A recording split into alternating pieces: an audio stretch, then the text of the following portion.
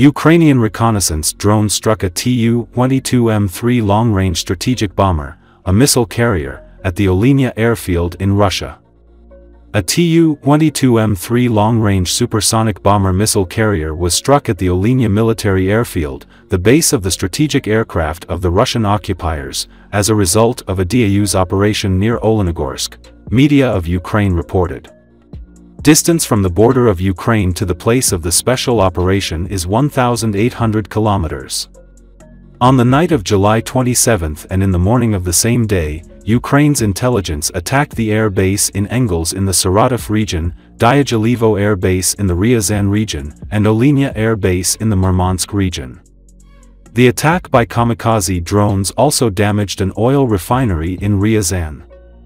According to eyewitnesses, the first explosions at the Dyagilevo airfield occurred around 6 a.m. local time. Social media posted footage of overflights and smoke, reporting at least three explosions. This airfield is home to the 43rd Center for the Combat Use and Retraining of Russian Aircrew.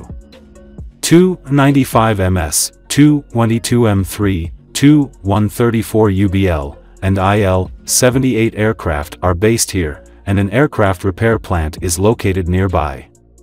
The explosions at the Engels Air Base, where Russian strategic aviation is stationed, were around 8 am local media reports indicate that Russian air defense tried to shoot down the drones but with no success.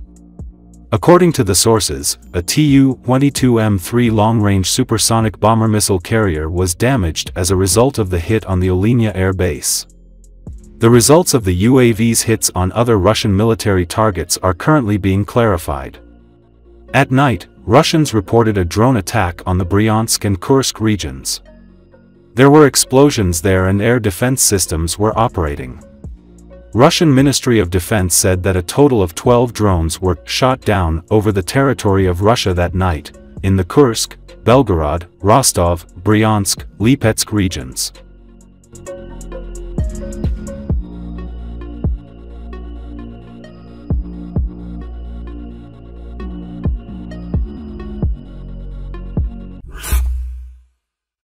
A cholera epidemic has begun in Russian-occupied Avdiivka. The city has been closed for entry and exit. This was stated by the head of the Avdiivka City Military Administration, Vitaly Barabash, on the air of a telethon. He recalled that Avdiivka was occupied by Russia in February 2024. According to him, the first few months, the Russian occupiers tried to launch the public utility service. People cleared the access roads and were paid 5,000 rubles for this. This has not happened for two weeks now because, according to information from several sources, there is a cholera epidemic in the city. That is, the city is closed to entry from Donetsk. People are not allowed out of the city, Barabash notes. He added that representatives of the occupation authorities bring in food products in special suits and gas masks, throw out this humanitarian aid and quickly leave. According to him, there are a lot of homeless dogs in the city that attack people. They say that there is a strong stench in the city from the bodies of dead people, and no one is looking into anything. This is probably why this cholera epidemic occurred. An epidemiological catastrophe is happening there, Barabash noted. The head of the Avdiivka MVA recalled that due to Russian shelling of the city, there were ruins left there. There was not a single surviving building. According to him, at the time when the defense forces withdrew from Avdiivka and the city was occupied, there were approximately 700 people left in it. And now, according to our data, although the information from there is coming in very locally in small volumes, 400 to 450 people remain in the city. Many of those who are waiting for the arrival of the occupation forces are already disappointed, Barabash said. He said that during the first two weeks after the occupation, more than 100 men who abused alcohol disappeared from the city. After that, Already near Ocheretino, several of them were taken prisoner. They were almost unarmed, untrained like cannon fodder, but since the locals know the area, they were taken as if they were in a barrier detachment, said the head of the Avdiivka MVA.